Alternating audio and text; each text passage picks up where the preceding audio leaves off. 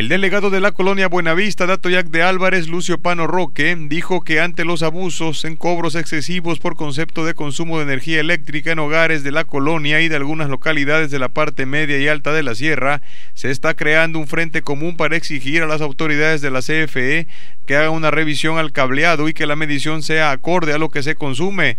Aseguró que esto lleva a un avance considerable porque también se están sumando ciudadanos de los municipios de Benito Juárez y Tecpan, quienes junto con sus asesores legales harán llegar sus demandas. El delegado expuso que en algunos hogares donde el recibo llegaba de 80 pesos, estos incrementaron hasta en 400 pesos, más grave aún en domicilios de personas humildes.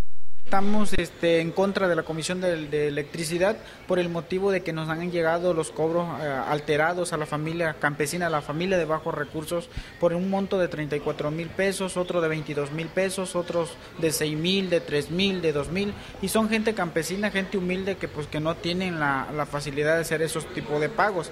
Y de antemano hemos, este, nos hemos manifestado y he dado declaración como autoridad municipal eh, pues vamos a hacer todo lo posible de que nos atienda el gerente de Atoyat para que nosotros podamos llegar a un arreglo, un convenio donde nuestros ciudadanos, nosotros estamos conscientes que te queremos pagar eh, el servicio, pero siempre y cuando se nos respete lo que es el, gasto que tenemos cada uno de nosotros. Hay casos similares en San Jerónimo, incluso aquí en Tecpan. ¿Han pensado ustedes eh, organizarse en un frente común para llevar las quejas a otro nivel?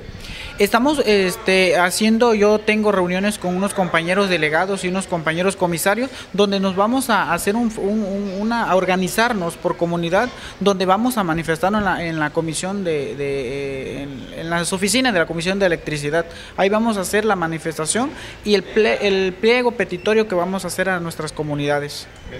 Estos aumentos eh, muy fuertes de, de, energía eléctrica por consumo eh, ¿Se vienen dando cada dos meses o, en la misma intensidad? ¿No han bajado? ¿Sigue la situación? ¿No han revisado medidores? Nada de eso.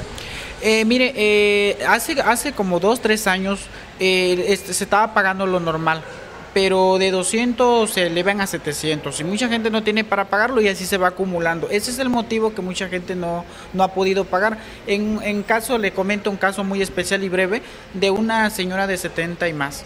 Eh, es una casa humilde, con techo de cartón paredes, de, adobe, eh, que no tiene ni un aparato eh, eléctrico, pero ella pagaba casi lo de 60 o hasta 80 pesos, le viene a, le aumentan el recibo a 300 pesos. ¿De dónde va a pagar esa señora? De ahí de los 300 le aumentan a otros recibos alterados de 1500. Ahorita le llega un recibo de 3800 pesos. Yo creo que eso no es justo. ¿Los asesores legales qué dicen?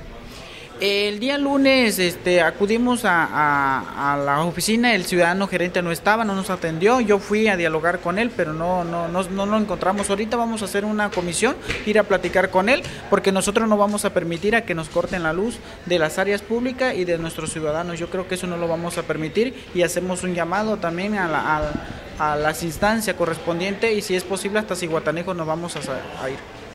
El delegado señaló que será la próxima semana cuando turnarán las quejas y solicitud al mismo tiempo a las autoridades más altas de la CFE, porque en lo que respecta a esta zona no les han hecho caso, solo dijo, los hacen dar vueltas. Para Canal 6 informó Guillermo Hernández.